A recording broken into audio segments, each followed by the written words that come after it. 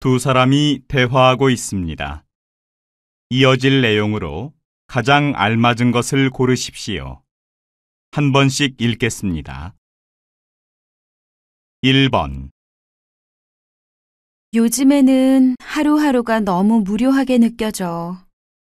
너 얼마 전까지만 해도 발표회 잘 끝냈다고 좋아했잖아. 왜 갑자기 기운이 빠져서 그래?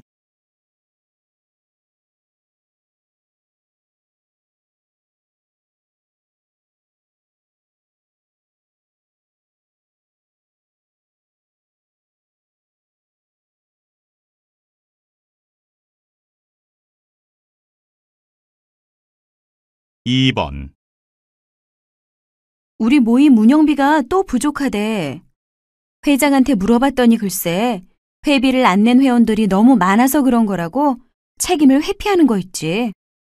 그게 왜 책임을 회피하는 거지? 회비를 안 낸 회원들이 잘못한 거잖아.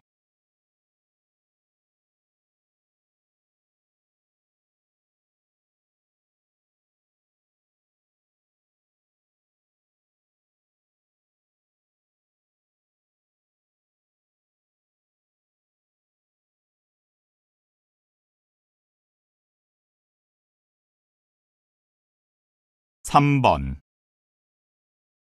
이 그림 정말 멋지다. 몇 개의 선만 사용해서 간결하게 풍경을 표현했잖아. 정말 독특한 느낌의 그림이야. 그러게. 복잡하지 않으면서도 깊은 인상을 주네.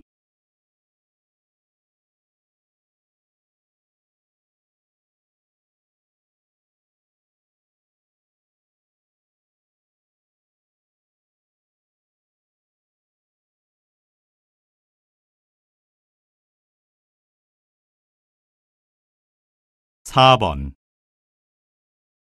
라디오 1분 건강입니다. 김 박사님, 오늘의 건강 상식은 무엇인가요? 네, 보통 식사 후에 바로 자리에 눕는 것이 소화불량을 일으킨다고 알고 계실 텐데요.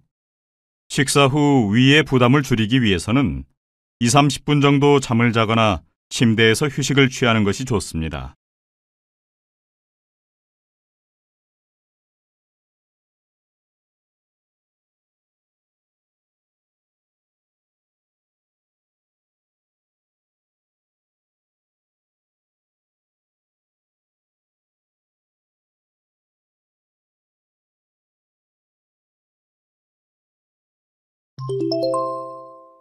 다음은 무엇에 대해 이야기하고 있습니까? 가장 알맞은 것을 고르십시오. 한 번씩 읽겠습니다. 5번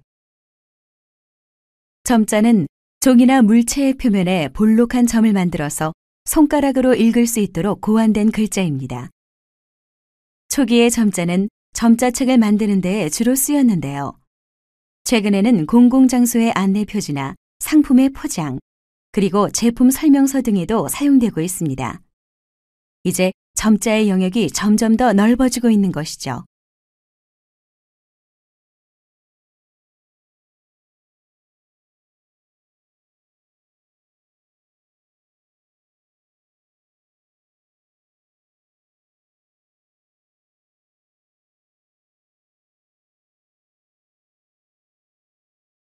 6번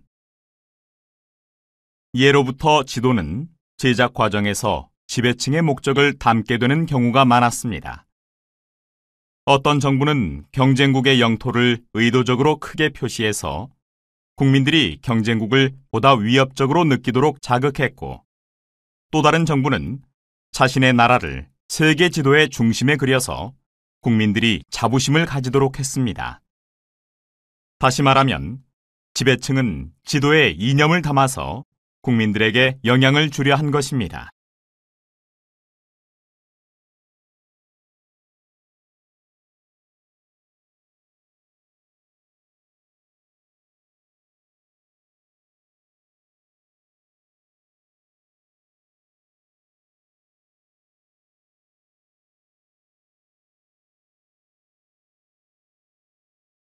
칠번 미래학자에게 있어 가장 중요한 것은 미래에 대한 상상력입니다. 그리고 이 상상력은 과거에 대한 지식이 전제된 것이어야 하고요. 과거에 대한 지식을 통해서만이 개연성 있는 미래 예측이 가능하기 때문이죠. 다시 말하면 미래학자는 과거로부터 축적되어 온 세상에 대한 지식을 바탕으로 상상력을 발휘할 수 있어야 하는 것입니다.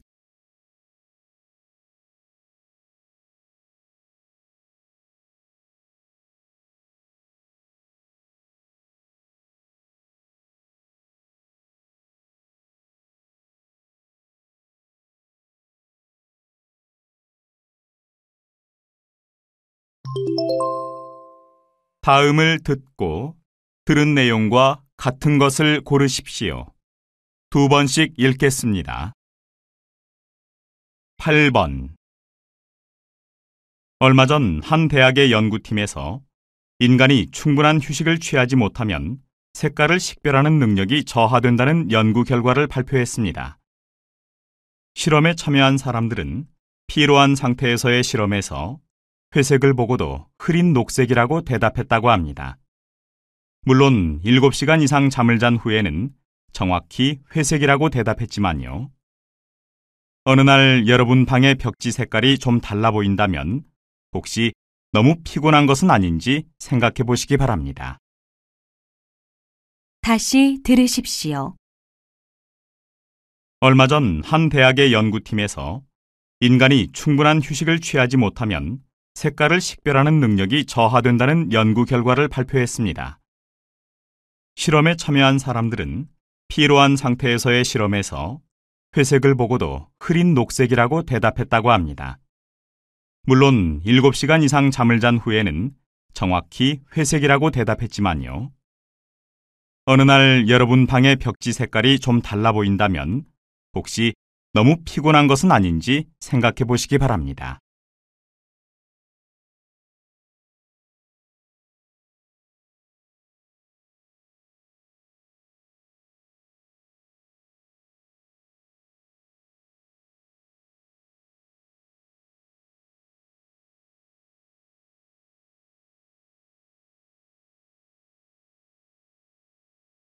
구번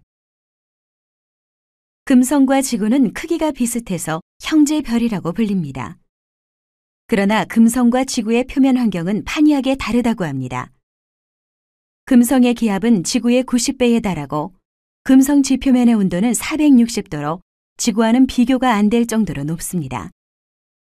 현재까지는 이렇게 기압이나 온도와 같은 단편적인 정보들만 수집된 상태지만 본격적인 탐사가 가능해지면 두 별 사이의 관계를 보다 정확히 알 수 있을 것입니다. 다시 들으십시오. 금성과 지구는 크기가 비슷해서 형제별이라고 불립니다.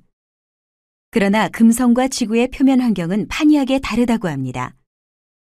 금성의 기압은 지구의 90배에 달하고 금성 지표면의 온도는 460도로 지구와는 비교가 안 될 정도로 높습니다. 현재까지는 이렇게 기압이나 온도와 같은 단편적인 정보들만 수집된 상태지만 본격적인 탐사가 가능해지면 두 별 사이의 관계를 보다 정확히 알 수 있을 것입니다.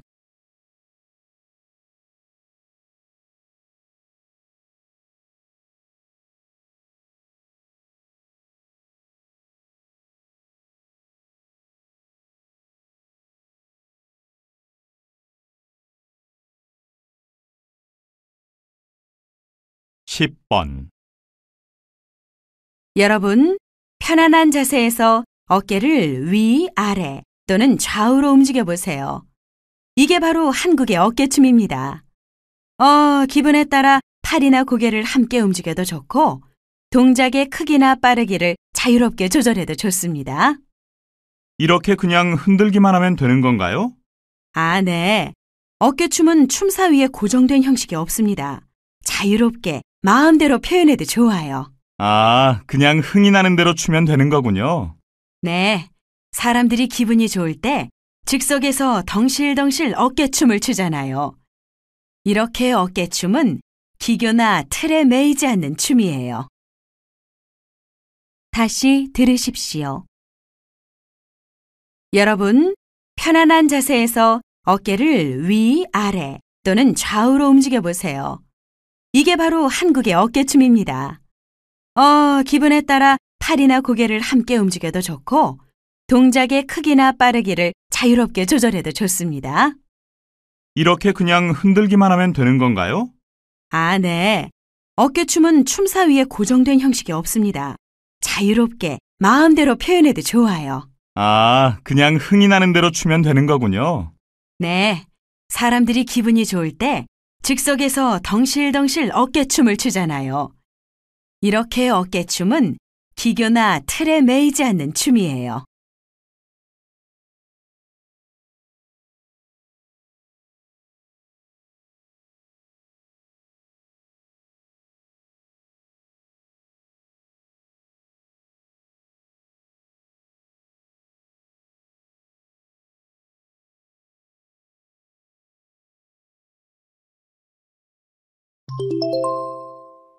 다음을 듣고 남자가 어떤 생각을 하고 있는지 맞는 것을 고르십시오. 두 번씩 읽겠습니다. 11번. 오늘 텔레비전에서 바다의 날 기념식을 하더라고요. 금연의 날, 책의 날, 주부의 날, 별의별 기념일이 다 있네요. 맞아요. 그런데 기념일마다 기념식들은 많이 하지만 정작 사람들이 기억하고 의미를 되새길 수 있는 그런 행사는 별로 없는 것 같아요. 관계자들끼리만 모여서 틀에 박힌 기념식을 하잖아요. 그런 것보다는 시민들이 직접 참여할 수 있고 기념일의 의미도 깨달을 수 있는 다양한 행사들을 기획하면 좋겠어요. 다시 들으십시오. 오늘 텔레비전에서 바다의 날 기념식을 하더라고요. 금연의 날, 책의 날, 주부의 날, 별의별 기념일이 다 있네요. 맞아요. 그런데 기념일마다 기념식들은 많이 하지만 정작 사람들이 기억하고 의미를 되새길 수 있는 그런 행사는 별로 없는 것 같아요. 관계자들끼리만 모여서 틀에 박힌 기념식을 하잖아요. 그런 것보다는 시민들이 직접 참여할 수 있고 기념일의 의미도 깨달을 수 있는 다양한 행사들을 기획하면 좋겠어요.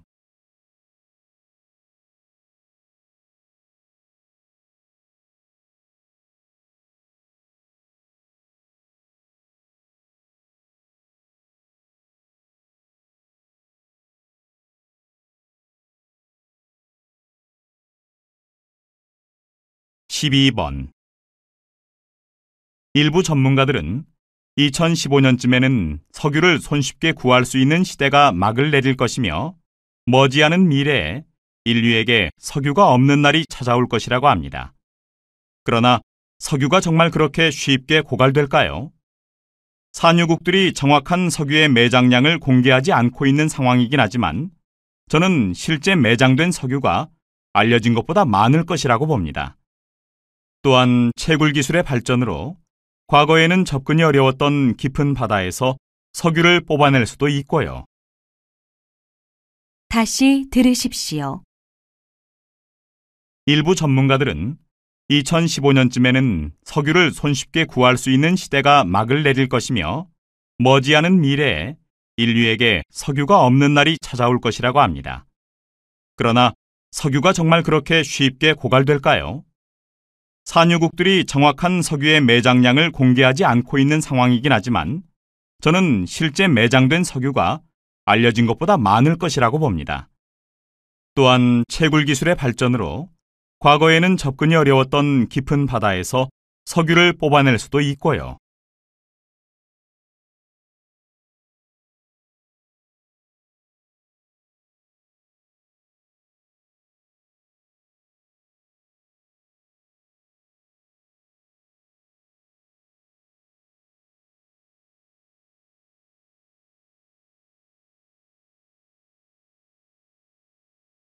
(13번) 박사님, 이번에 어렵게 개발해서 특허를 받은 항암버섯의 독점권을 포기하신다는 게 사실입니까? 음, 사실 그동안 고민이 없었던 것은 아닙니다. 개인적인 이익을 왜 포기하려고 하느냐는 질문도 많이 받았고요. 하지만 이렇게 해야 항암버섯의 대량 생산과 유통이 가능해질 것이고 결국 암 환자들도 좀 더 저렴한 가격에 항암버섯을 구입할 수 있게 될 것 아닙니까? 많은 사람들의 건강에 기여하는 것이 더 뜻깊은 길이라는 생각이 들어서 이런 결정을 내렸습니다. 다시 들으십시오. 박사님, 이번에 어렵게 개발해서 특허를 받은 항암버섯의 독점권을 포기하신다는 게 사실입니까? 음, 사실 그동안 고민이 없었던 것은 아닙니다. 개인적인 이익을 왜 포기하려고 하느냐는 질문도 많이 받았고요. 하지만 이렇게 해야 항암버섯의 대량 생산과 유통이 가능해질 것이고 결국 암 환자들도 좀 더 저렴한 가격에 항암버섯을 구입할 수 있게 될 것 아닙니까? 많은 사람들의 건강에 기여하는 것이 더 뜻깊은 길이라는 생각이 들어서 이런 결정을 내렸습니다.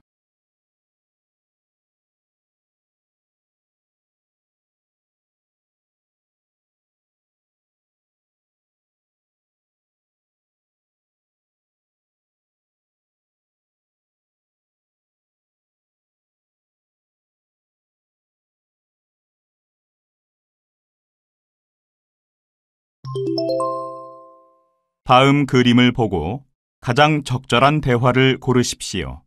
한 번씩 읽겠습니다. 14번 1번 어, 한동안 안 보이길래 졸업을 했나 했는데 어디 갔었어요? 네, 교수님. 제가 지난 학기에는 휴학을 했었습니다. 이번 학기에 복학했으니까 자주 인사드리겠습니다. 2번 아, 정말 잘 됐네요. 졸업하자마자 모두들 부러워하는 직장에 나가게 되고 다 교수님 덕분이에요. 교수님이 안 도와주셨으면 오늘 이렇게 학사모를 쓸 수 없었을 거예요. 3번. 저 앞에 있는 자동 발급기에서 성적표를 출력하려고 했더니 발급이 안 된다고 나오네요. 졸업생이시지요? 졸업생은 신청서를 따로 작성하셔야 발급이 되거든요. 4번. 이력서를 보니까 김수미 씨는 대학 졸업 후에 얼마간 공백 기간이 있었네요. 아, 네. 여러 나라로 배낭여행을 다녔습니다. 견문도 넓히고 경험도 쌓으려고요.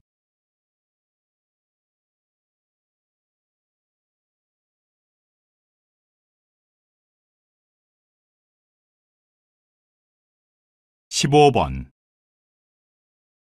1번 김대리, 여기 화면 좀 봐요.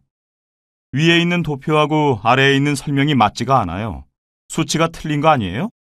어머, 아까 고쳤는데 저장을 안 했나 봐요. 죄송합니다. 2번 어, 엘리베이터가 고장인가 봐요. 한참을 기다렸는데 안 내려와요. 여기 엘리베이터 문 위쪽에 점검 중이라고 쓰여 있잖아요. 바로 위에 있는 종이도 못 봤어요? 3번.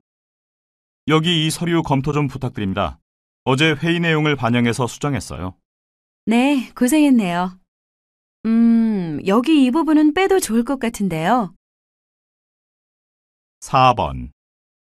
여기 인사 발령 결과가 붙었어요. 경수 씨가 이번에는 승진했네요. 이번에도 승진해서 탈락되면 그만둘 것처럼 말하고 다니던데 이 사실을 알면 기뻐하겠네요.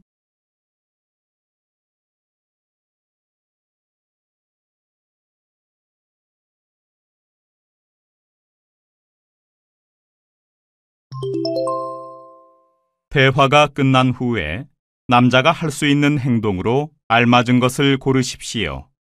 두 번씩 읽겠습니다. 16번. 저, 제가 1년 전에 이 통신 상품을 3년 약정으로 계약했거든요. 그런데 지금 중도 해지가 가능한가요? 네, 고객님. 그런데 계약서를 보시면 아시겠지만 중도 해지 시 위약금이 있습니다. 제가 갑자기 해외 지사로 발령을 받게 돼서 상품을 계속 이용할 수 없게 됐는데 이런 경우에도 위약금을 내야 합니까? 아, 네. 그런 경우 증빙 서류를 본사로 보내주시면 위약금 없이 해지가 가능합니다. 그럼 본사 주소를 좀 알려주세요. 다시 들으십시오.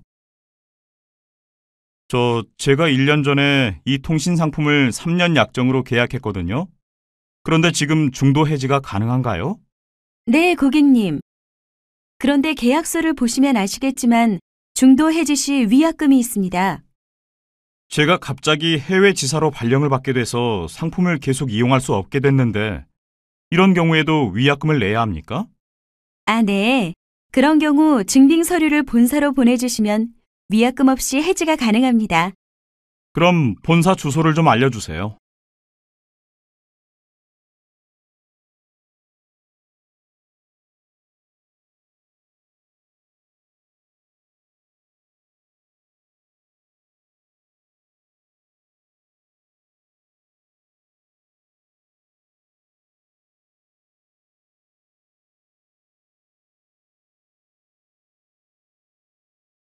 (17번) 감독님, 이번 공연의 무대 배치 말인데요. 무대를 설치하고 그 앞쪽에 계단 형식으로 객석을 놓는 건 어떨까요? 음, 저도 고민해 봤는데요. 이번 공연의 취지가 관객과의 소통인 걸 고려하면 무대 둘레에 관객석을 배치하는 게 더 좋을 것 같아요. 무대가 중심에 있는 구조로요. 그러면 무대가 360도 회전돼서 출연자들이 모든 관객과 소통할 수도 있으니까요. 공연의 취지에는 감독님께서 말씀하신 방향이 더 맞을 것 같아요. 말씀대로 하겠습니다. 다시 들으십시오. 감독님, 이번 공연의 무대 배치 말인데요. 무대를 설치하고 그 앞쪽에 계단 형식으로 객석을 놓는 건 어떨까요? 음, 저도 고민해 봤는데요. 이번 공연의 취지가 관객과의 소통인 걸 고려하면 무대 둘레에 관객석을 배치하는 게 더 좋을 것 같아요. 무대가 중심에 있는 구조로요. 그러면 무대가 360도 회전돼서 출연자들이 모든 관객과 소통할 수도 있으니까요. 공연의 취지에는 감독님께서 말씀하신 방향이 더 맞을 것 같아요. 말씀대로 하겠습니다.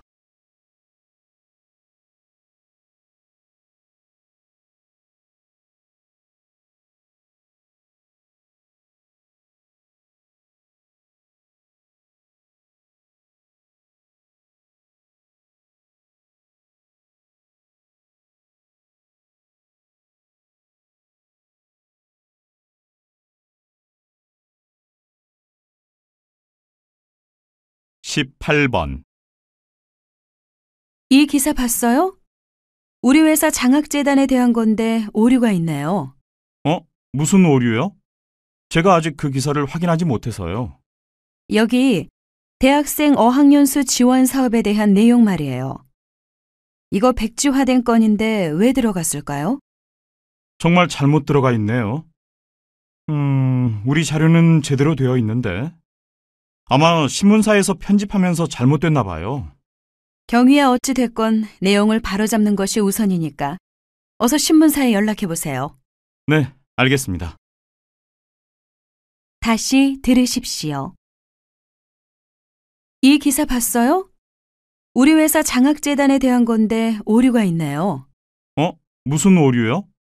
제가 아직 그 기사를 확인하지 못해서요. 여기 대학생 어학연수 지원 사업에 대한 내용 말이에요. 이거 백지화된 건인데 왜 들어갔을까요? 정말 잘못 들어가 있네요. 음, 우리 자료는 제대로 되어 있는데. 아마 신문사에서 편집하면서 잘못됐나 봐요. 경위야 어찌 됐건 내용을 바로잡는 것이 우선이니까 어서 신문사에 연락해 보세요. 네, 알겠습니다.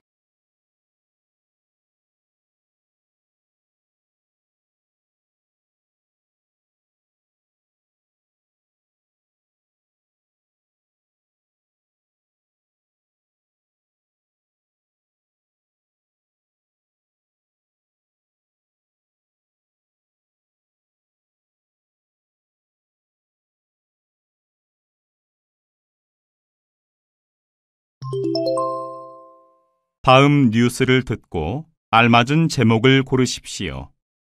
두 번씩 읽겠습니다. 19번 지난 1일 대부분이 투명한 개구리, 연필 끝에 올라갈 정도로 작은 도마뱀을 비롯한 30종 이상의 신종 생물이 학계에 보고되었습니다. 이러한 신종 생물들은 매년 발견되고 있는데요.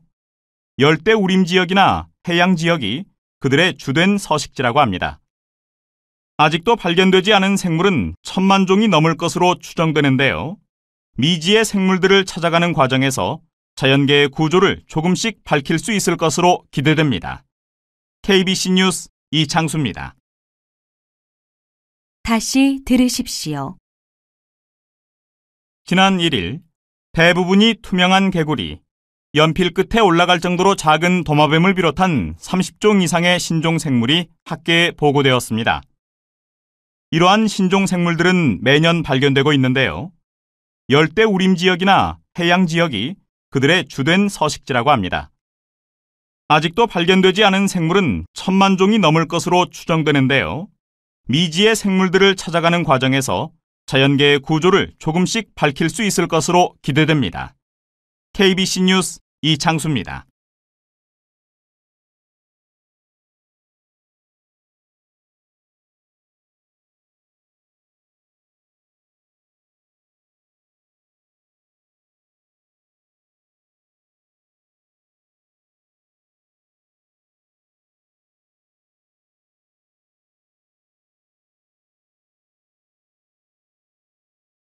이십 번 국내 건축 폐기물 중 재활용되는 폐기물의 비율이 20%를 넘지 못하고 있어서 관계 당국의 고심이 컸는데요.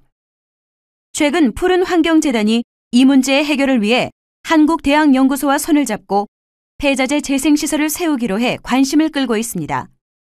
관계자에 따르면 아직 구체적인 생산 기술을 공개할 단계는 아니지만 조만간 건축 폐기물을 내구성 강한 건축용 벽돌 등으로 100% 재활용하는 날이 올 것이라고 합니다. 골칫거리에 불과했던 건축 폐기물. 그 변모가 기대됩니다.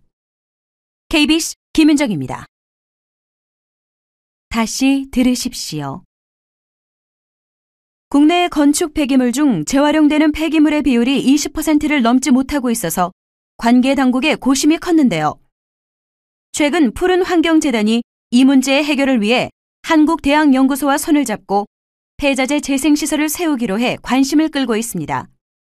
관계자에 따르면 아직 구체적인 생산 기술을 공개할 단계는 아니지만 조만간 건축 폐기물을 내구성 강한 건축용 벽돌 등으로 100% 재활용하는 날이 올 것이라고 합니다. 골칫거리에 불과했던 건축 폐기물.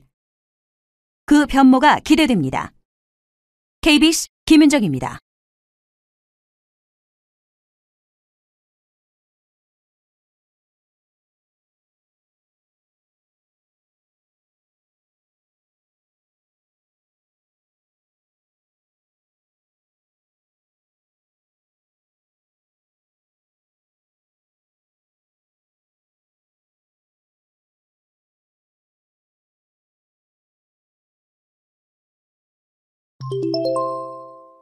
다음 대화를 듣고 물음에 답하십시오.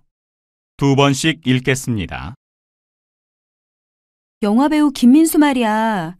어린 시절 고생한 이야기가 공개됐는데 가슴 아프더라. 이번에 그 이야기를 소재로 자전적인 영화도 찍는데 나도 들었어. 근데 난 그 이야기가 좀 과장된 것 같기도 하고 쓸데없이 왜 과거의 사생활을 공개하나 싶기도 해서 별로 와닿지 않던데. 분명 영화 제작사가 영화를 홍보하려고 그런 일화를 일부러 알렸을 거야. 너처럼 감성적인 사람들을 극장으로 끌어들이려고. 그럼 영화사에서 흥행을 노리고 그런 이야기를 공개했다는 거네? 그렇지. 얼마 전 한 심리학자가 실험을 했는데 요즘 현대인들이 감성적인 이야기에 쉽게 감화되더래. 디지털 시대에도 이런 이야기가 마음을 움직인다는 거야. 그러니까 배우의 인생담을 공개한 건 이런 현대인의 감성을 자극하려는 영화사의 전략일 거라고. 다시 들으십시오. 영화배우 김민수 말이야. 어린 시절 고생한 이야기가 공개됐는데 가슴 아프더라. 이번에 그 이야기를 소재로 자전적인 영화도 찍는데 나도 들었어. 근데 난 그 이야기가 좀 과장된 것 같기도 하고 쓸데없이 왜 과거의 사생활을 공개하나 싶기도 해서 별로 와닿지 않던데. 분명 영화 제작사가 영화를 홍보하려고 그런 일화를 일부러 알렸을 거야. 너처럼 감성적인 사람들을 극장으로 끌어들이려고. 그럼 영화사에서 흥행을 노리고 그런 이야기를 공개했다는 거네? 그렇지. 얼마 전 한 심리학자가 실험을 했는데 요즘 현대인들이 감성적인 이야기에 쉽게 감화되더래. 디지털 시대에도 이런 이야기가 마음을 움직인다는 거야. 그러니까 배우의 인생담을 공개한 건 이런 현대인의 감성을 자극하려는 영화사의 전략일 거라고. 21번.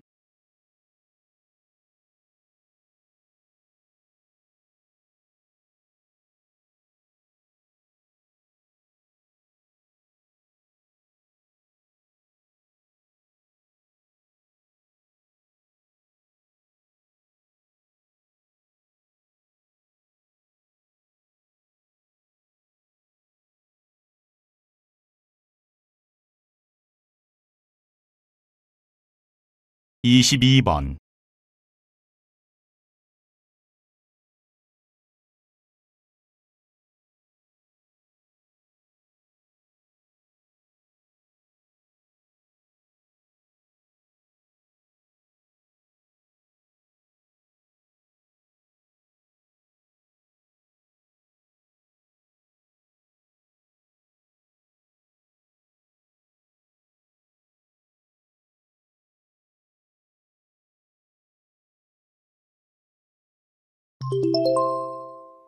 다음 대담을 듣고 물음에 답하십시오. 두 번씩 읽겠습니다. 오늘은 한국 소비자연맹 회장이신 김수정 선생님을 모시고 말씀을 들어보겠습니다. 회장님, 한국의 소비자 운동이 아직 세계적인 수준에는 이르지 못했다고 보는 사람들이 많은데요. 네. 최근 저희가 하는 활동들이 가시적인 성과를 내지 못한 것은 사실입니다. 하지만 한국 소비자 운동의 선준화를 이끌고 갈 잠재력은 이미 갖추었다고 생각합니다. 그동안 많은 운동가들이 노력을 한 덕분에 소비자 운동에 대한 인식이 차츰 높아졌습니다. 소비자의 권익을 보호하기 위한 법률이 제정되고 제도가 도입되기도 했고요. 더욱 고무적인 것은 우리의 미래를 이끌 대학생들 사이에서 소비자 운동과 관련된 모임이나 활동이 많아지고 있다는 것입니다. 다시 들으십시오. 오늘은 한국 소비자연맹 회장이신 김수정 선생님을 모시고 말씀을 들어보겠습니다. 회장님, 한국의 소비자 운동이 아직 세계적인 수준에는 이르지 못했다고 보는 사람들이 많은데요. 네. 최근 저희가 하는 활동들이 가시적인 성과를 내지 못한 것은 사실입니다. 하지만 한국 소비자 운동의 선준화를 이끌고 갈 잠재력은 이미 갖추었다고 생각합니다. 그동안 많은 운동가들이 노력을 한 덕분에 소비자 운동에 대한 인식이 차츰 높아졌습니다. 소비자의 권익을 보호하기 위한 법률이 제정되고 제도가 도입되기도 했고요. 더욱 고무적인 것은 우리의 미래를 이끌 대학생들 사이에서 소비자 운동과 관련된 모임이나 활동이 많아지고 있다는 것입니다. 23번.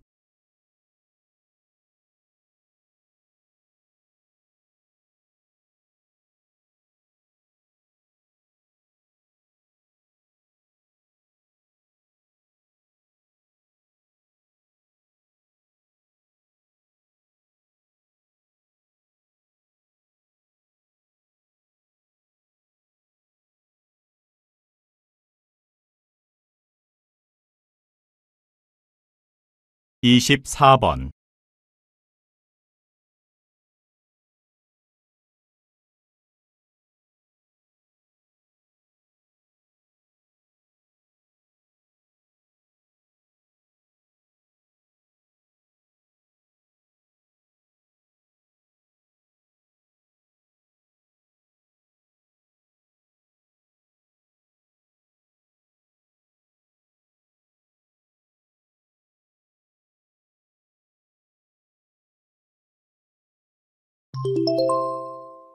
다음 강연을 듣고 물음에 답하십시오.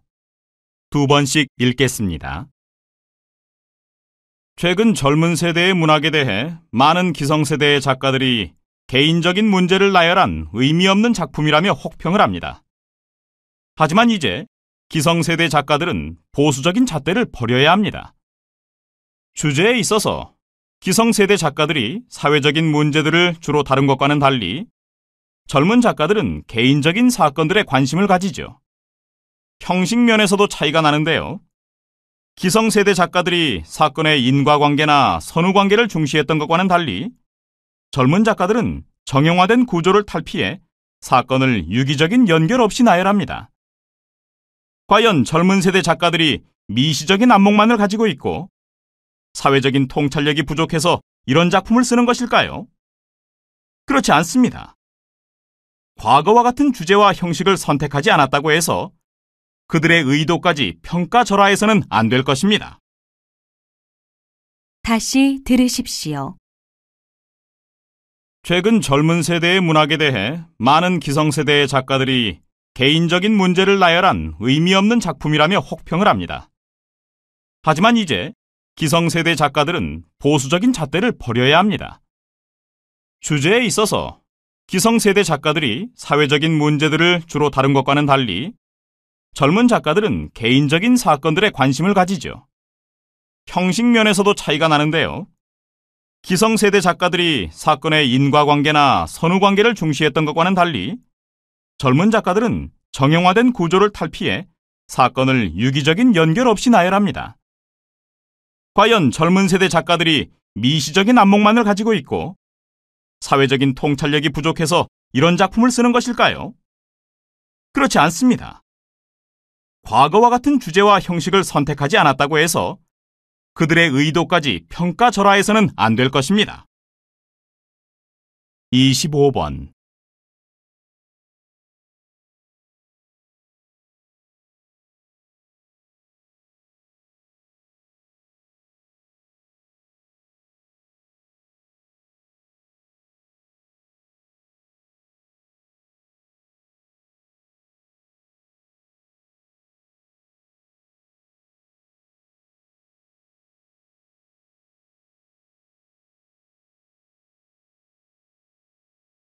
이십육 번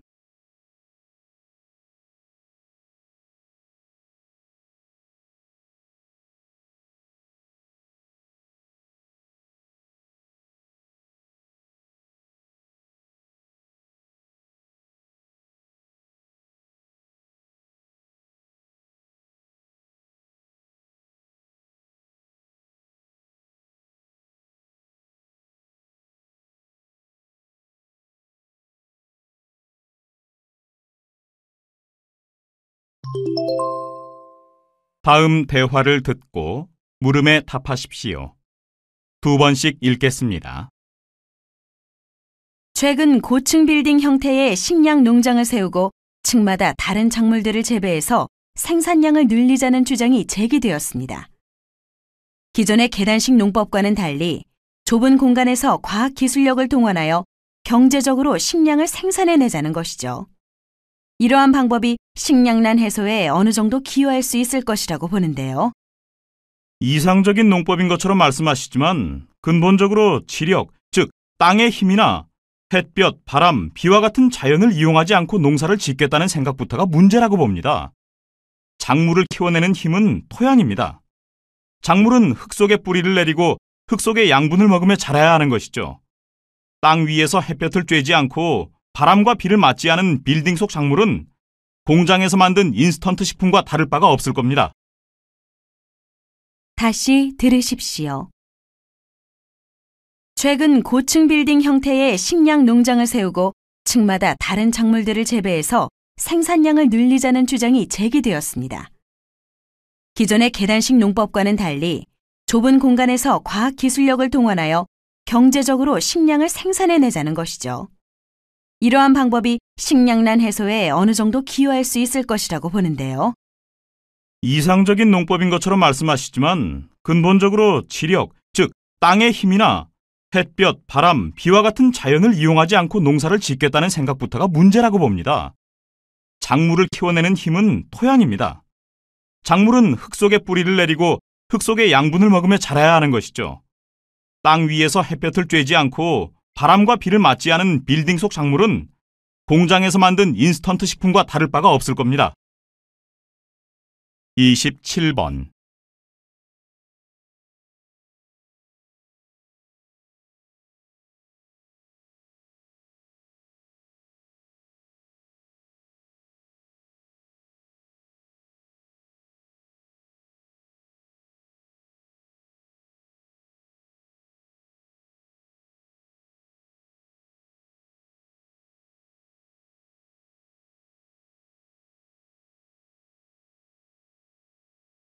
28번.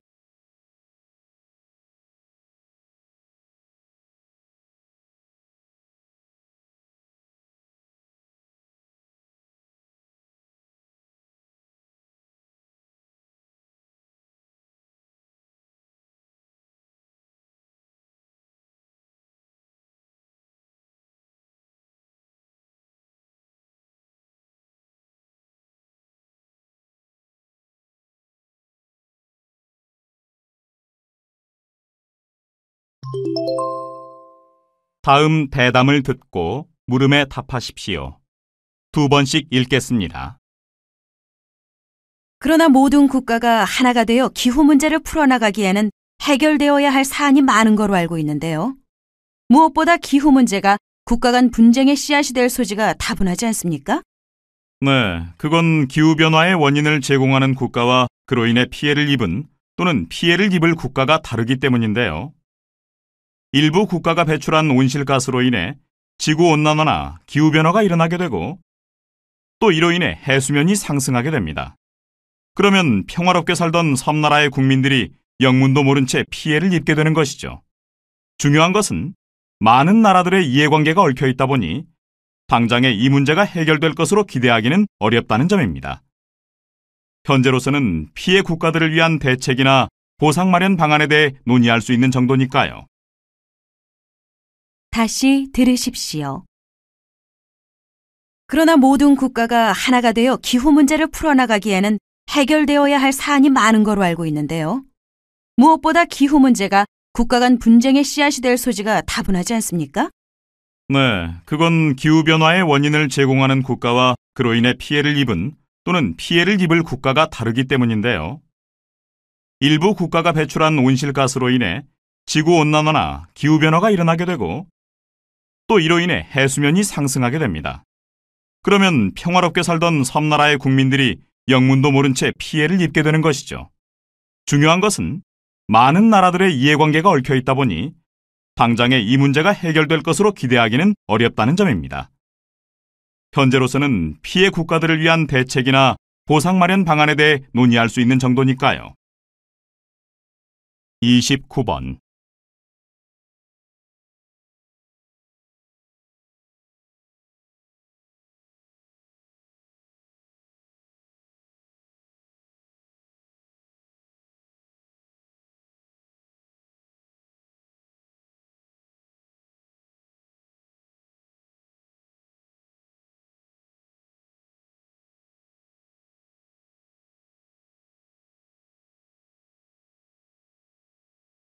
삼십 번